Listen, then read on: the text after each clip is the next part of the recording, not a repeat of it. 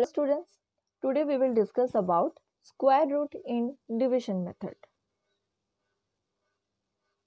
Let's solve square root of 3881.29. So before going to solve this sum, let me tell you some rules that we need to remember. We have to put bars above pair digits now this pair digits should be in such form so that we can put these bars in a proper form. Now let us focus on decimal.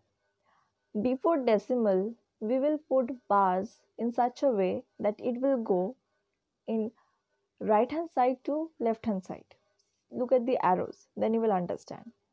And after decimal, we will put bars in the form of left side to right side. So we have chosen the numbers according to bars form successfully. So first number is 38, next number is 81 and third number is 29.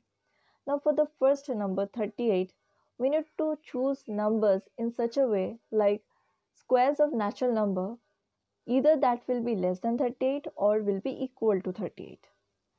For example 5 square. 5 square means how much? 25. So 25 is less than 38. So let's verify for the next number.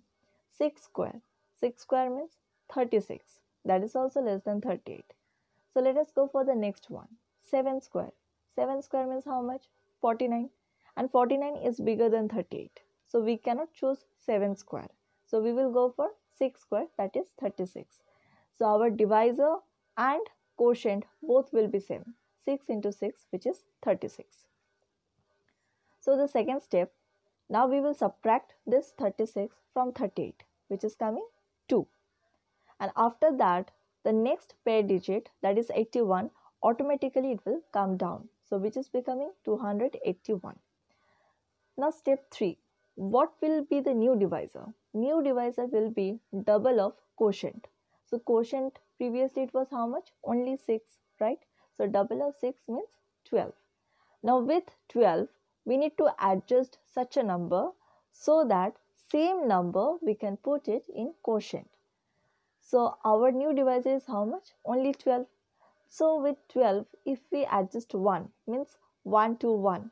So with 1 to 1, we will product the same number that is only 1.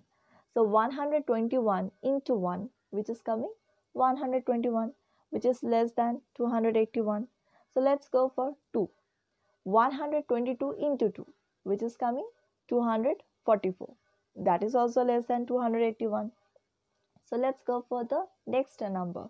That is 123 and that will be multiplied again with 3 1 2 3 into 3 so which is coming 369 so 369 is more than 281 so we cannot go for 123 so we will go for 122 so as we are adjusting with 2, so our new divisor will get adjusted with 2 and that same number 2 we are going to put in quotient. So after right after 6 will be 2 and after producting 2 with 122 it's coming 244. So again we will subtract. So after subtracting this 244 from 281 it is coming 37. Now like the previous process, next pair digit 29 should come down. But before 29, we can see decimal is there. So where that decimal will go? We will put that decimal directly in the quotient place. Then there will be no more problem with decimal. Now simply we can take down that 29 right after 37. Now it is coming 3729. So again in the same process, the next new divisor will be double of the quotient. Now our quotient is 62. So double of 62 is 124. Now again in the same way we will adjust with 124. So simply you can see here it has been adjusted with 124 3 so which is coming 1243 and 3 has been multiplied with 1243 and which is exactly coming 3729 so after subtracting it is coming 0. So the remainder is 0. So the final answer means square root of 3881.29 is 62.3.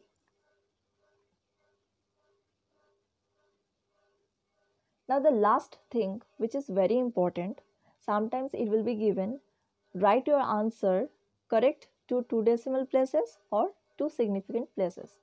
So I will tell you what is the difference between decimal places and significant places. First number I have chosen 4.357. If it will be said as decimal places, right after decimal we will count. And if it is significant place, then we will count from the very beginning number, from the very first number. So first one I have done for decimal. So 4.357. So right after decimal, two digits we will choose. So it is 35, right? So after 5, which number is there? 7. And 7 is in the range of 5 to 9. So 1 will be added just with the previous number. So it will become 4.36. That's all. And if we do this thing for significant places, then what will happen? We will count right from the beginning. So 4.3. Two significant places. So 4 and 3. Two places. So 4.3. So right after 3 again, who is there? 5. So 5 is in the range of 5 to 9. So again, that 1 will be added with 3. So which is becoming 4.4. Similarly, I have chosen another number 0.0461. For 0, little bit change will be there. For decimal, the process will be same. So right after decimal, we will choose 2. So 0, 4 and after 4, 6 is there. So 1 will be added. So final answer will be 0.05. But for significant, we will neglect zeros which are in the front numbers like 0.0. These two zeros we cannot take. So apart from zeros, we have to continue. So we will start from 4. So 4, 6.